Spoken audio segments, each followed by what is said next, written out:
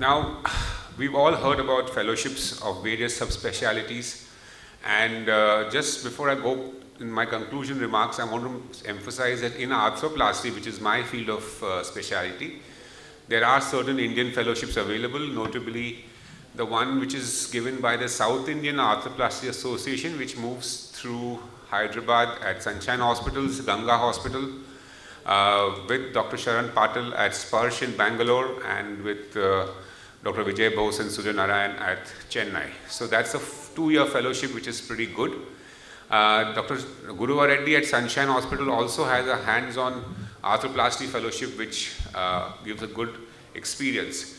The reason I'm saying all this is just like you heard in spine and in hand, etc. If you have some basic arthroplasty experience ahead of going for an overseas fellowship, you'll be able to get the best out of it.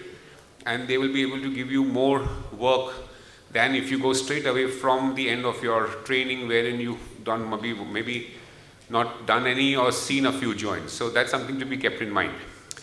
So fellowships are the need of the hour, especially when we have situations where the number of residents are increasing and the amount of hands-on work is decreasing.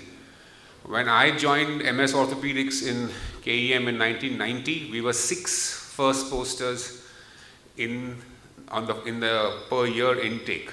Now that six has become 24. The number of OTs in KEM has remained the same and the anesthetist still does not want to give you a case after 2 o'clock.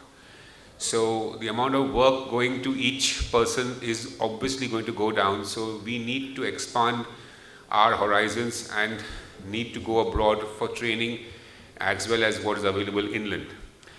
Advantages of a fellowship, I'm not going to go into. Many different ways to skin a cat is what you learn, different perspectives. A more patient-centric approach compared to what we have in our teaching hospitals here where uh, we tend to be more surgeon specific, we, the patient tends to be secondary. Yes, you will start off as being the jack of all, but to become a master of some, you have to take a specialized fellowship. Research and publications has been stressed by most of the earlier speakers, publish or perish is the mantra. So start early in your postgraduate training. It could be an MS training, could be a DNB or a D Ortho.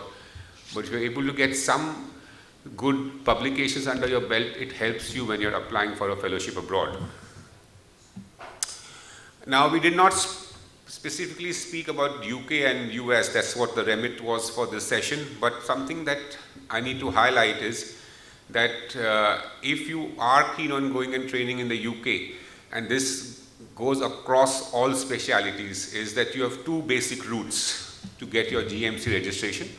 The first and the most used one is if you pass your MRCS, which is now administered in India completely and can be taken after your two or three years of orthopedic training. It could be, as I said, D or DNB, MS doesn't matter, as long as you have surgical requisition, uh, surgical requirements for the MRCS satisfied.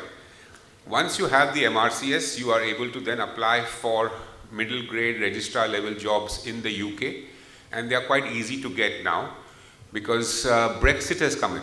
So Brexit actually works in favor of our uh, stu uh, students because the UK is no longer bound to first take European doctors and then only then take non-Europeans. So we have now got a get better opportunity to go to the UK.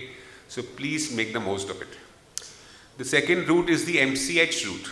I'm sure most of you are aware, if those who are not, then that MCH route is now through the University of Wrightington uh, wherein you don't even have to give your MRCS, but you get your GMC registration for two years uh, through a MCH program. It is, of course, paid.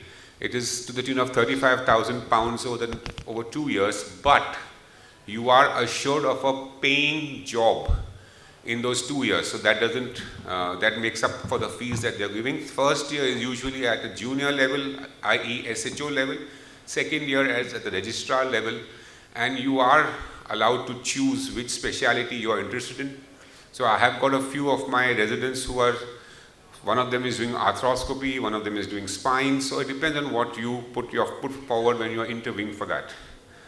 And the Royal Colleges will try and trick you, make you do exams like the international FRCS, etc. Please be careful. It, they are supposed to be money-making machines at the end of the day.